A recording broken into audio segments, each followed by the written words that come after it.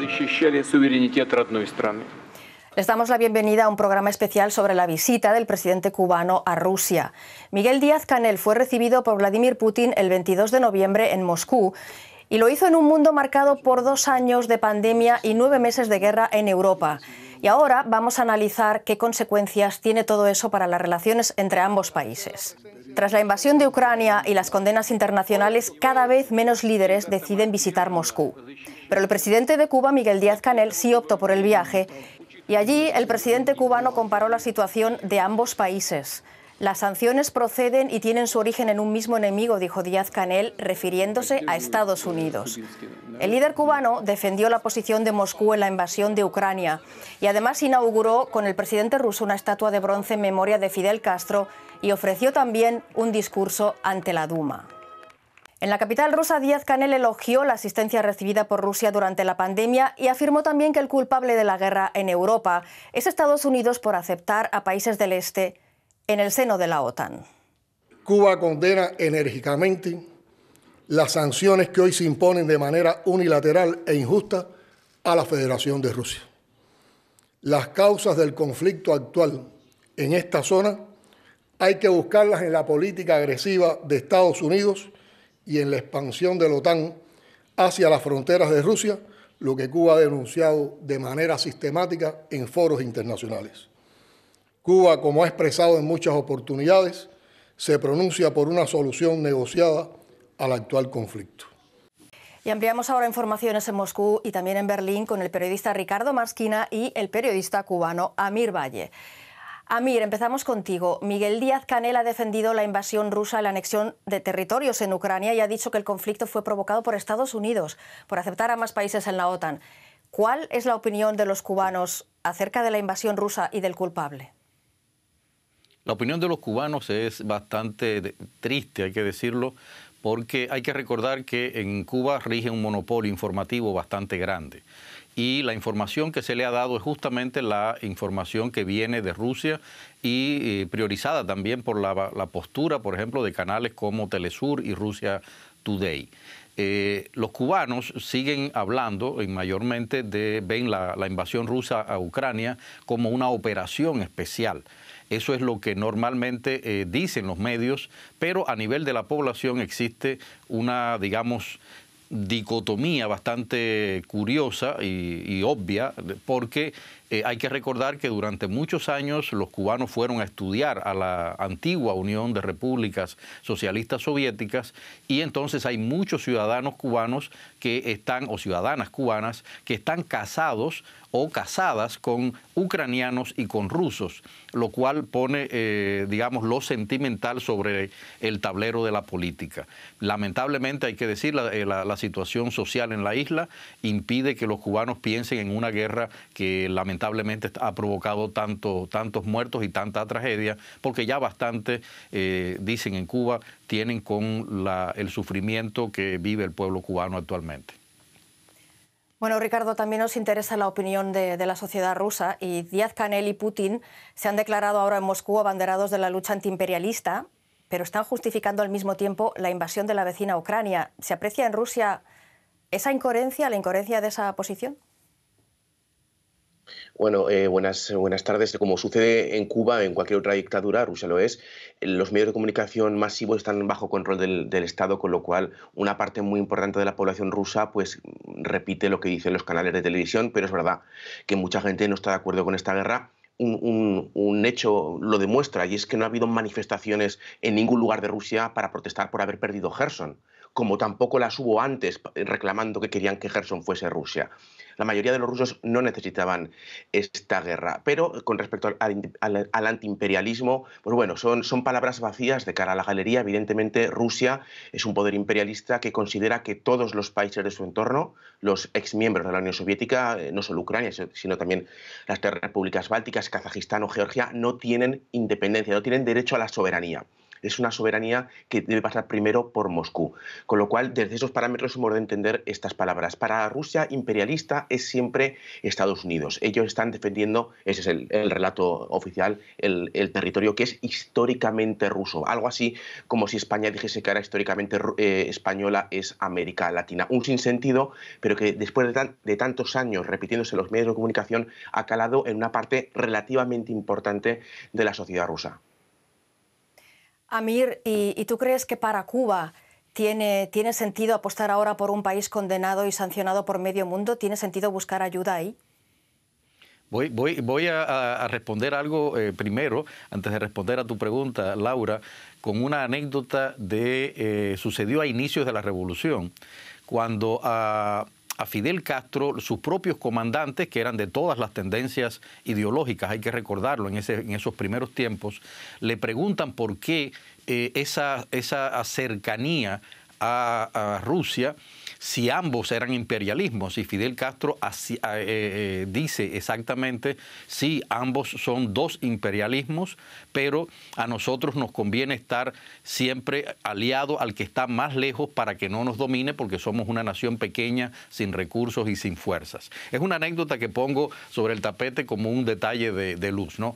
Eh, yo creo, Laura, que eh, Cuba en estos momentos necesita sobre todo una presencia internacional más activa.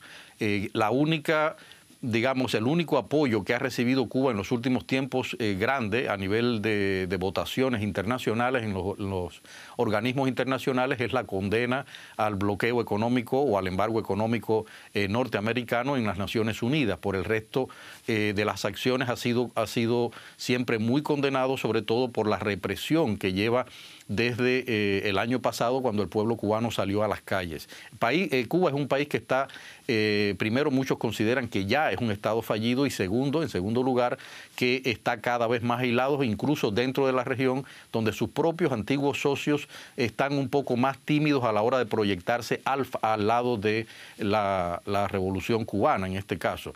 Eh, y por supuesto a, Cuba solamente le queda regresar a los viejos y antiguos y más, vamos a decir, camaraderiles predios de esa relación de, con la hermana Unión Soviética como nos enseñaron a nosotros en, en Cuba, ¿no? adorar todo lo que venía de la Unión Soviética y a convertir lamentablemente al país en una dependencia, eh, en un satélite ruso en todos los sentidos. Como detalle, otro detalle muy curioso para que el que escuche entienda hasta dónde llega eso, a nosotros nos prohibían en la universidad, yo estudié periodismo, nos prohibían el inglés porque era la lengua del enemigo y tuvimos que estudiar cinco años ruso. Es decir, para que tengan una idea de hasta dónde llega la, llegaba la penetración de esa. Obviamente, ambos están solos, cada vez están más solos en el mundo y eh, tanto Putin como Díaz Canel necesitan consolidar esas nuevas alianzas de cara a un reposicionamiento que se está produciendo ahora mismo en las fuerzas que, eh, políticas que dominan este, este mundo que vivimos. ¿no? Eh, Ricardo, entonces vemos que, en Cuba hay un convencimiento absoluto de que el país necesita a Rusia. Pero ¿qué es lo que gana Putin con, con esta visita de Díaz Canel? Bueno, Putin gana muy poco. Lo siento mucho por Cuba, es un país que adoro, pero tiene muy poco que ofrecer realmente a Rusia. Eh, lo único que gana es esta imagen de que Putin está dando la mano a otro líder internacional. Eh, lo vimos como Lavrov hizo una gira por África buscando esas fotos, esas fotografías después de los desplantes en el G20 y en otros encuentros internacionales, pocos son los líderes de países relevantes, sé que suena esto muy clasista, pero es así, pocos son de los países relevantes que quieren estrechar la mano a, los líderes rusos, con lo cual Putin necesita, no solo Putin, sino el sistema necesita encontrar eh, puntos de apoyo internacional. Aparte de eso, pues Rusia buscará, eh, quizás ahora eh, asentar de nuevo su, presencia en América Latina, evidentemente en Cuba y en Venezuela, y está, será muy interesante que pase los siguientes meses con Brasil. Esperad un momento con nosotros, quedaos un momento que vamos a escuchar ah, unos extractos más del discurso de Díaz Canel y seguimos hablando con vosotros. Posicionarse a favor de Rusia en la guerra de Ucrania no es la principal razón que ha llevado a Díaz Canel a Moscú. La razón fundamental es el desabastecimiento energético, la grave crisis económica y alimentaria que sufre Cuba y que el pasado septiembre perdió gran parte de sus cosechas e infraestructuras a causa del, huracán Ian, algo que agravó ya la crisis existente en el país. Esto vuelve a supeditar a Cuba su único aliado incondicional, que es Rusia, y Díaz Canel ve a su país y a Rusia como víctimas de las sanciones injustas impuestas y orquestadas por un mismo enemigo, lo que ellos denominan el imperio yanqui de Estados Unidos. Escuchemos a Díaz Canel. Estamos en un momento en que ambos países, ambas naciones, tanto Rusia como Cuba, están sometidas a sanciones injustas, arbitrarias, que proceden y tienen su origen en el mismo enemigo, el imperio yanqui que ha manipulado también. Luego, en un discurso ante la Cámara Baja del Parlamento ruso, Díaz Canel también resaltó la importancia de las relaciones actuales entre Cuba y Rusia. Relaciones políticas entre la Federación de Rusia y Cuba son excelentes. Existen amplias coincidencias en los principales temas de la agenda internacional y una decisiva cooperación en los órganos internacionales. Sin embargo, continúa pendiente lograr el desarrollo pleno de nuestros vínculos económicos, comerciales, financieros y de cooperación para llevarlos al mismo nivel que hoy poseen las relaciones políticas. Y esa debe ser una prioridad. Es una tarea de ambos órganos legislativos trabajar en esta última dirección. Seguimos con la charla con nuestros compañeros Ricardo Marquina y Amir Valle. Amir, el presidente eh, Díaz Canel llegó a Moscú en busca de ayuda energética por esos continuos apagones y el último, este, este pasado lunes, un apagón que afectó al 30% de Cuba. Si hace poco tiempo se había mostrado dispuesto para reforzar el diálogo con Estados Unidos, ¿por qué está recurriendo ahora a una Rusia que está debilitada? ¿Es porque eh, Rusia le ha aplazado el pago de la deuda? Mira, Cuba es un estado parasitario absolutamente, eso hay que tenerlo en cuenta. Eh, durante muchos, eh, durante todo el tiempo que, Rusia estuvo eh, ayudando, la, antigua Unión Soviética estuvo ayudando a Cuba, ninguno de esos recursos llegaron a concretarse en el desarrollo nacional en las distintas ramas. Y eso es lo que hace que hoy, justamente cuando han pasado todos los desastres, cuando ha, venido también el desastre de la guerra, todas las crisis de los últimos años, económicas sobre todo, el, el impacto también de algunas medidas del, embargo norteamericano y, por supuesto, lo que ellos nunca reconocen, la pésima gestión de un modelo económico fracasado absolutamente, a pesar de todas las insistencias en que se cambie eh, y de todas las sugerencias que se han hecho para que se cambie, a pesar de toda la la, digamos, la ayuda que dio el periodo Barack Obama en que Estados Unidos abrió también eso. A pesar de todo eso, Cuba sigue eh, lamentablemente en un estado de depauperación en el cual, repito, solamente le queda seguir parasitando a un gobierno. A Estados Unidos Cuba no lo puede parasitar. Es decir, ahí tenemos el ejemplo de Venezuela, como Cuba ha parasitado a Venezuela justamente con su petróleo. Eh, eh, ahora ha estado haciendo, intentándolo hacer también con Irán. Hay que recordar un detalle muy curioso. Eh, me gusta mucho que Díaz Canel reconozca públicamente que las relaciones políticas con Cuba nunca se han interrumpido, algo que mucha gente creyó que había sucedido. y hay detalles que hay que marcar. Irán y, y Rusia son desde que se fundó el ALBA, el grupo de la Alternativa Bolivariana para las Américas, que bueno, reunió a aquellos países de América Latina que optaban por esa alternativa socialista, ¿no? Eh, eh, eh, Rusia e Irán eran los países asesores de ese proyecto, eran parte también de ese proyecto, que era un proyecto netamente político e ideológico. Y mucha gente se cuestiona, o sea, decía que se había roto las relaciones entre Cuba y, y Rusia porque Rusia había dado un bandazo hacia el capitalismo eh, totalmente, eh, se había manifestado de modo imperialista en muchas de, sus, de sus posturas eh, internacionales y regionales y además eh, la gente se preguntaba cómo es posible que si Cuba está combatiendo contra el imperialismo norteamericano, eh, se va a aliar a otro imperialismo en estos momentos que Rusia ha cambiado tanto. O sea, la, respuesta, Laura, es bastante simple. Estados Unidos condiciona el comercio con Cuba eh, con pagos reales porque Cuba es una nación absolutamente endeudada. Hay que recordar que no solamente estamos hablando de la deuda, esta deuda con con Rusia, es una pequeña deuda al, lado de, por ejemplo, la deuda que tiene con el Club de París de 11 mil millones de, dólares, de los cuales el Club de París le condonó 8 mil y, Cuba no ha podido ni siquiera pagar la cuota anual que tiene que pagar de apenas unos 80 millones. O sea, es algo que es muy curioso, repito, es un Estado económicamente fallido, la, vida en Cuba lo demuestra, eh, uno de los grandes desastres en los últimos tiempos ha sido la presencia eh, de mendigos en las calles cubanas, mm, al por mayor, muchos de ellos eh, familias, mujeres y ancianos, que eso era un fenómeno que en el tiempo, digamos, de Fidel, como dicen algunas personas, estaba algo escondido, pero ha estallado la, diferencia de, clasial en, de clases en Cuba en estos momentos muy grande y obviamente eso hace que eh, Cuba y Díaz Canel y todos los que mandan detrás de Díaz Canel busquen eh, una solución eh, a, eso. Una solución para la perpetuidad. Lamentablemente, yo repito y lo digo, y, muchas veces entre los colegas periodistas me, animo a incluso a, apostarlos, ¿no? Eh, ninguna de estas ayudas que se logren con el restablecimiento económico de las relaciones con Rusia va a eh, servir para algo al pueblo cubano, al pueblo que está sufriendo ahora mismo. Y Ricardo, ¿está por su parte la economía rusa en plena guerra, en condiciones de ofrecer algún tipo de ayuda financiera a otros países? ¿Cuál es la situación de la economía rusa en estos momentos?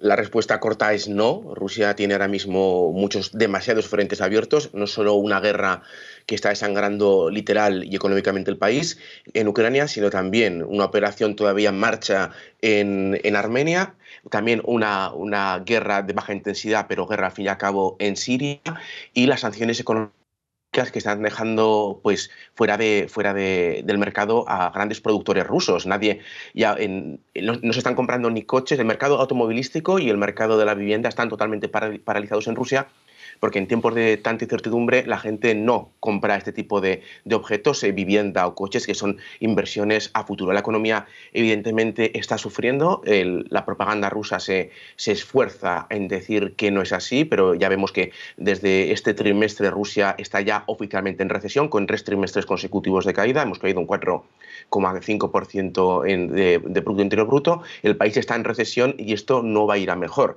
Eh, cuanto más dure, se perpetúe la guerra, más, van, más estas sanciones, con lo cual es difícil prever que Rusia pueda ofrecer a Cuba o a cualquier, otro actor internacional ayuda económica efectiva.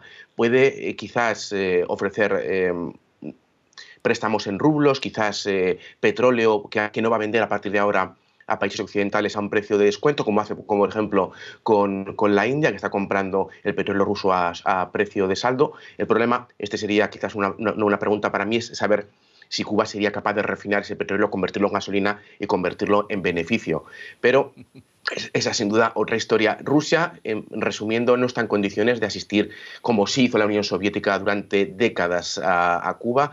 Y es más, está por ver cuánto, cuánto aguantará la economía rusa sin que empecemos a ver carestía de productos en las tiendas. Bueno, ya vemos que las esperanzas que ponen ambos países el uno en el otro no están demasiado fundadas. Amir, durante la inauguración de la estatua de Fidel Castro este martes en Moscú, Putin habría dicho, al parecer, algo así, la independencia y la dignidad no se negocian, cada pueblo tiene derecho a elegir su camino y en un mundo realmente justo no puede haber sitio para el dictado, el saqueo y el neocolonialismo. ¿Cómo interpretas estas palabras cuando Rusia está invadiendo un país vecino? Sí, es parte eh, del oportunismo y del discurso. Estamos hablando de, sencillamente una retórica que los que vivimos en esos países la conocemos perfectamente. Es la retórica de la, de la manipulación de cara al mundo y les da igual que el mundo sepa que están mintiendo. En el caso de, Putin creo que queda muy claro desde, desde que asumió el poder eh, hace ya unos cuantos años, él lanzó la idea de reconquistar eh, la, gran Rusia. Y todos sabemos que la gran Rusia, la idea de la gran Rusia es eso que hablaba Marquina, que es el hecho de eh, Rusia con todas esas naciones que se engulló después de la de la Segunda Guerra Mundial.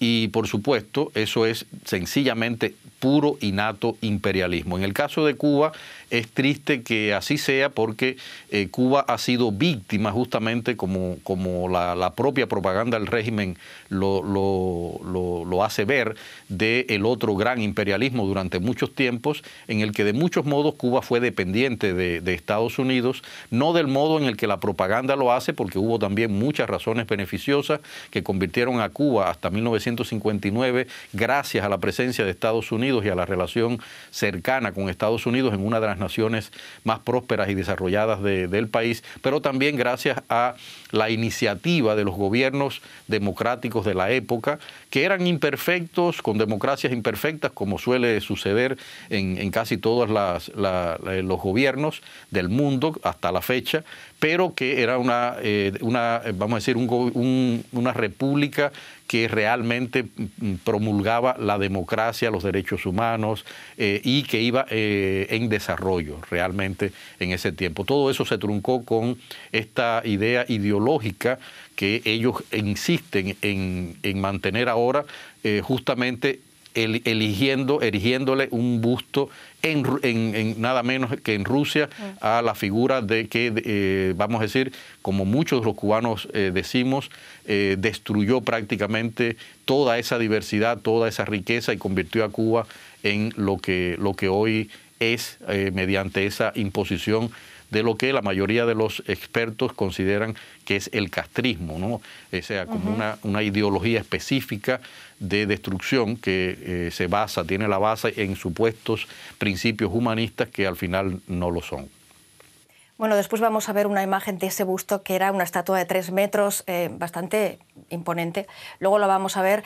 Ricardo, a nivel internacional, Putin está cada vez más aislado, pero en Moscú, ¿Qué huella deja ese aislamiento? Se, percibe mucho, hay que tener en cuenta que muchísimas, eh, la gran mayoría de las grandes empresas occidentales se han marchado, empresas de las que depende mucha infraestructura eh, rusa, como Siemens. Los trenes rusos de alta velocidad dependen de Siemens. Siemens ha marchado, ¿hasta cuándo podrán funcionar esos trenes? Es una incógnita. Los grandes, los, los eh, ascensores de los grandes edificios de Moscú son todos de Siemens o de otras compañías extranjeras que se han marchado. Cuando empiecen a faltar piezas va a ser un problema muy serio. Se ha marchado muchísima gente, extranjeros, que han dejado apartamentos generalmente de clase business y clase élite vacíos. Todo ese dinero está dejando de entrar. Y lo más importante, los rusos no pueden viajar o no pueden viajar con la facilidad de hace apenas un año. Eh, yo el año pasado viajé a, ver a mi familia en España por Navidad en un vuelo directo de Moscú a Madrid. Ahora eso es imposible, ya tienes que dejarte unos 4.000 euros por volar eh, ida y vuelta por Turquía unos precios abusivos o hacer una auténtica gincana, una expedición por el norte de Europa en coche para poder llegar a, España. Todo eso evidentemente se nota, los rusos son muy conscientes de que su vida económicamente y también en lo social, en este aislamiento internacional, pues ha ido a peor desde que comenzó esta llamada operación militar especial. Bueno, y hablemos también de la precariedad que hay en, la población en Cuba, de las relaciones con Estados Unidos, porque las autoridades cubanas están empezando a decir que hay algunos cambios en la política del actual gobierno de, Joe Biden hacia Cuba, y la isla, por su parte, también parece abierta a estrechar lazos con Estados Unidos. ¿Tú crees, Amir, que el actual gobierno estadounidense podría llegar a ofrecer a Cuba los fertilizantes y los hidrocarburos y el cereal, el trigo que Cuba necesita para sobrevivir? Eh, mira, hay, que decir primero que en los últimos años, y es una de las teorías que echa por tierra la idea del bloqueo económico, fíjense que hablo eh, en los términos en que el gobierno cubano habla de, ese sistema, el bloqueo, dicen ellos, eh, Cuba ha, tenido prácticamente todo el alimento que existe en Cuba eh, se, viene de Estados Unidos. Es una, es una de, las, de las cosas más, más interesantes. La mayoría de los productos que hay en las tiendas eh, cubanas en dólares, es decir, donde los cubanos tienen que comprar en dólares eh, una moneda que no, no con, la que el, Estado no les paga, son productos que vienen de, Estados Unidos.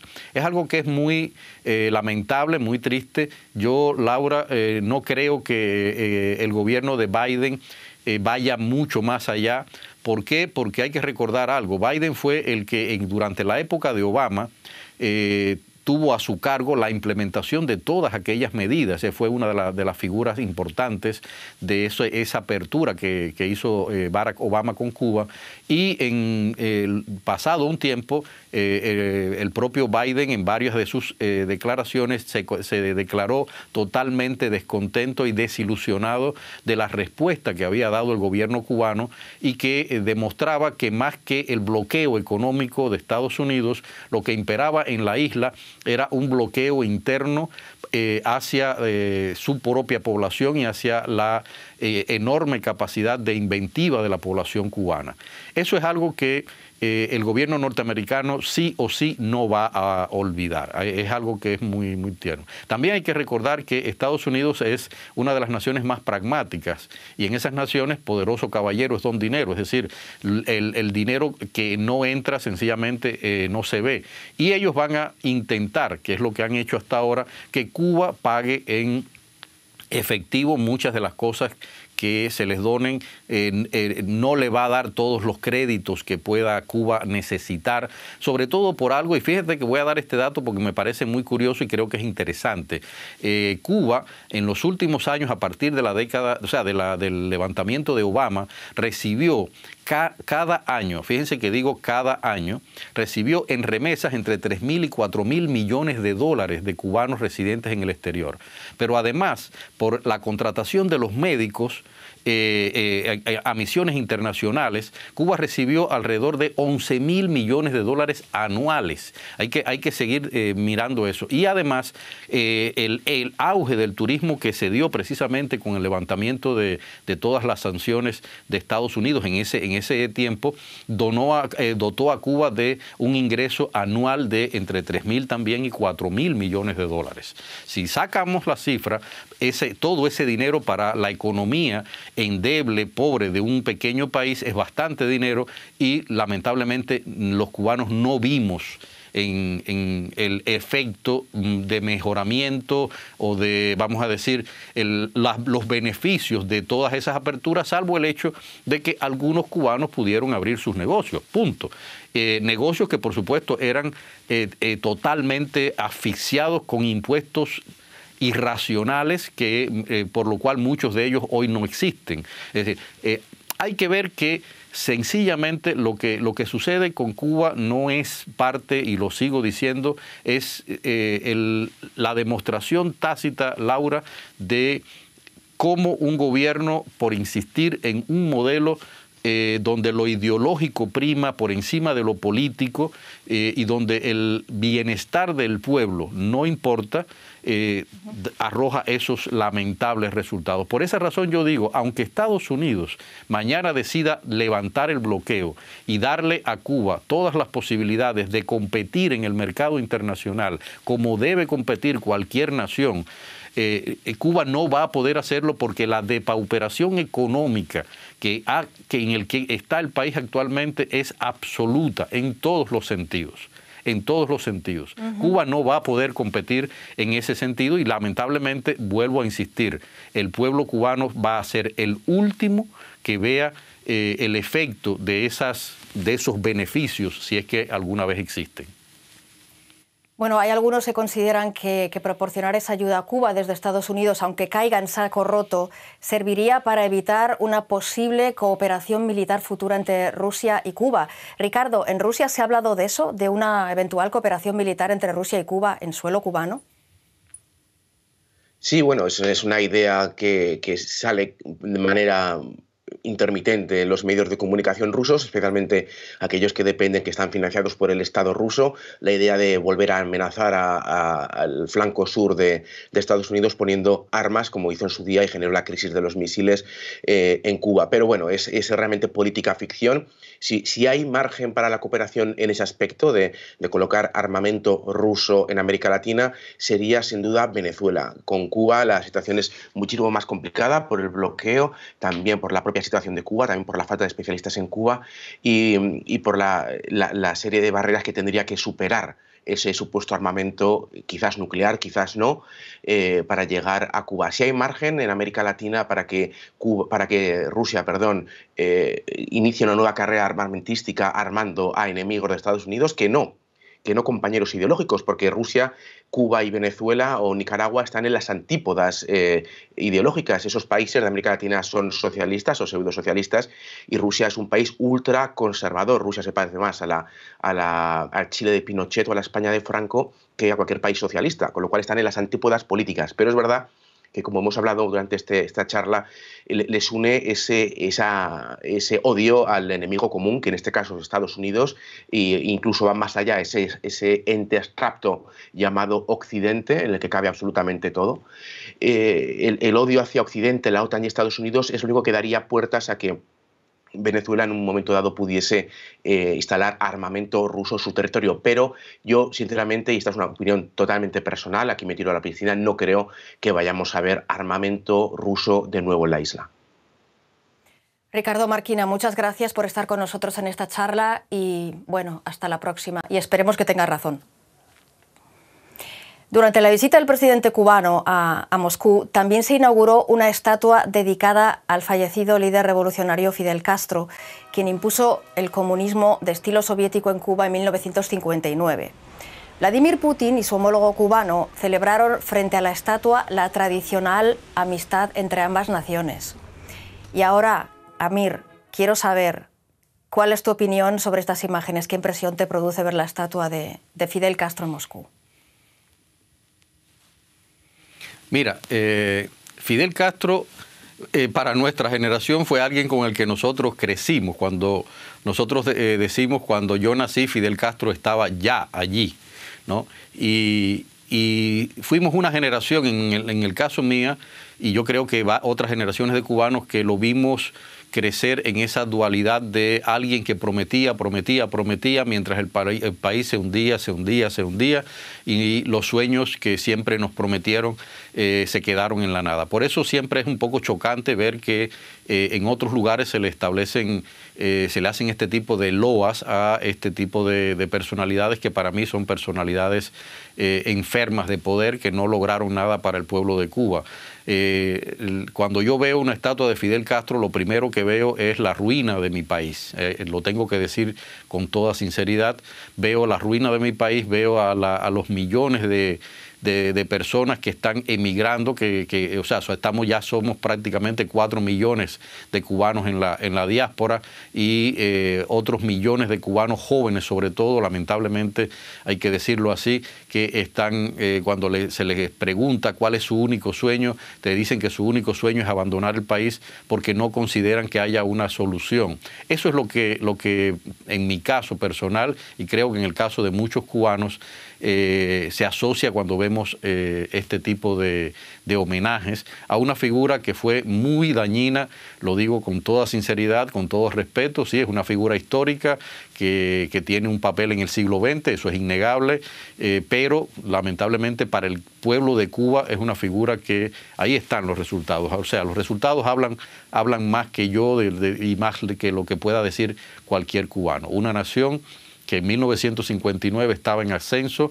con muchos problemas en aquella época, muchas desigualdades, pero que iba cada vez a un camino amplio eh, a través de la democracia y de la apertura de, fuerzas, de pronto se ha convertido en un país del cual la mayoría de sus personas eh, de sus habitantes quiere huir. Esa es la, la, más clara prueba de que algo no funciona, a pesar de todos los discursos triunfalistas y de todas estas promesas de ahora sí vamos a construir un mundo mejor eh, en Cuba. Lamentablemente no creo en eso. Amir Valle, muchas gracias por haber estado con nosotros en esta charla, en este especial sobre la visita de Díaz Canel a Moscú y esperemos que la situación deje de ser tan desesperada, no solamente en Cuba, sino también en todo el planeta.